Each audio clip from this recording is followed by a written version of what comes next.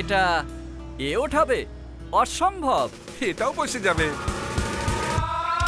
বসে যায় তো সাধারণ মিনি ট্রাক এটা হলো নতুন Supro heavy duty profit truck এর সবচেয়ে মজবুত পাত্তি।